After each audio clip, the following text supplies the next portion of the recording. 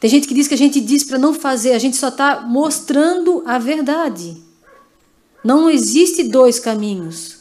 Ou é certo ou é errado. Não existe meia grávida, como dizia o padre Rômulo. Olha a carta do bispo auxiliar de Astana, no Cazaquistão, no dia 14 de setembro de 2021. Isso é uma carta apostólica. Isso dá força para os cristãos. Um cristão tem que ser forte, tem que falar a verdade. Hoje eu cumprimento todos os trabalhadores que nesta mesma hora estão sendo forçados a escolher entre manter o emprego e receberem a tal da picada, que se a gente falar até o que é, podem cortar o programa. Olha como é diabólico isso. As pessoas estão sendo penalizadas por falarem a verdade sobre esse, esse assunto receberem a picada contra a Covid-19 ou serem despedidos por não se receberem a tal picada. Por meio desta breve carta, estendo algum encorajamento em suas provações.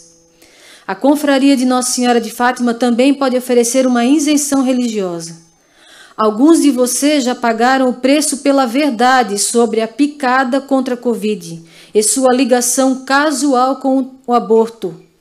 Estou profundamente comovido com o testemunho de uma senhora dos Estados Unidos que escreve: Hoje foi o meu último dia para embalar o resto das minhas coisas. Como não ia tomar a picadinha, disseram-me para ir embora na sexta-feira passada. Eles ligaram e pediram-me para arrumar a minha mesa e disseram que hoje seria o meu último dia.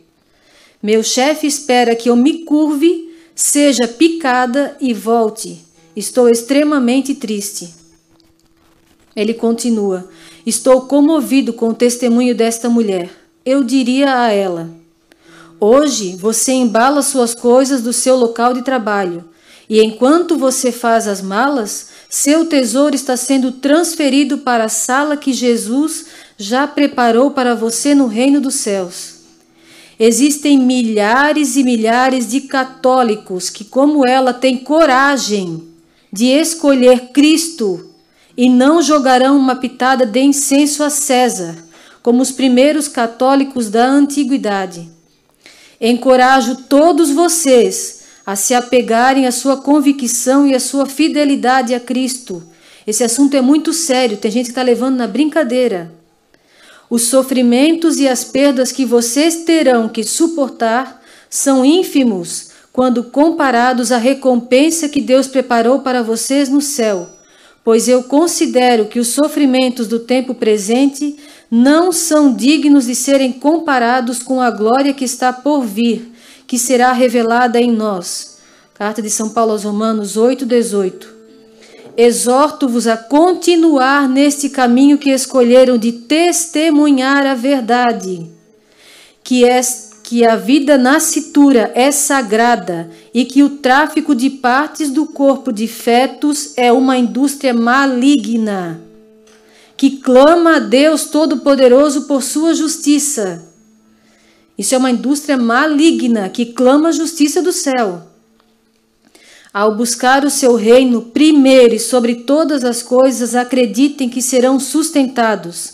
Jesus e Maria abrirão novas maneiras de sustentar suas famílias. Também exorto e encorajo os fiéis leigos a procurar meios de, a intervir e ajudar seus companheiros católicos e encontrar novos trabalhos significativos. Meus queridos irmãos e irmãs, estes são os preços que sabíamos que sempre teríamos que pagar para sermos fiéis a Jesus Cristo. Se ele que não conhece o profeta sabia desse preço que teríamos que pagar, imagine nós que conhecemos as mensagens. É agora, nesta mesma hora, o pagamento está sendo exigido e, portanto, devemos rezar para que passemos na prova e sejamos fiéis ao Senhor Jesus. Eu dou a todos vocês a abundante bênção de Deus. Dom Atanásio Schneider, bispo auxiliar de Astana, Cazaquistão. Quantas pessoas estão perdendo o emprego? Isso já não estava escrito nas mensagens? Não poderão comprar nem vender quem não tiver a marca? Ah, mas ainda não é a marca da besta. Mas aqui ele está falando. Tem coisa ali que é coisa maligna, de indústria maligna, de aborto. Tráfico de crianças abortadas. Você é contra o aborto? E vai deixar ser picado com alguma coisa que pertencia a uma criança que foi martirizada no ventre de sua própria mãe? Mas eu não sabia. Mas agora você sabe. E tem a segunda, tem a terceira. E vai ter quantas? E ligam perguntando se a gente vai aceitar. Por que, que vocês falam isso se a minha família agora estão brigando? Sabíamos do preço que iríamos pagar. E nada é comparado. O pai sempre falava na hora mais difícil da vida dele, aqui em Taquaras, ele não tinha de onde tirar. Ele não tinha mais comida em casa, não tinha dinheiro nem para andar de ônibus. Eu, eu testemunho isso, eu estava em casa, eu sabia. E o pai pedia para voltar para trabalhar em Joinville e Jesus falou que não podia. E ele obedeceu. E Deus sempre dava um jeitinho, mas num dia 16 de julho de 1996, Jesus falou para ele uma mensagem muito linda que confortou ele e também vai confortar as pessoas agora. Já imaginou, meu filho, um pomar onde os frutos dão o ano inteiro? Uma relva sempre bem verdinha com pássaros voando sobre a tua cabeça? Água pura e cristalina, sem precisar ser filtrada para beber?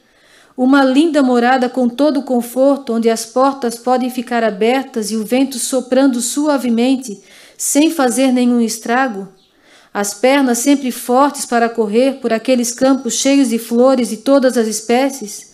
Esse é o presente que, presente que receberás das minhas mãos, Jesus. Esse é o presente que as pessoas vão receber, por testemunhar a verdade, por não se curvar ao demônio.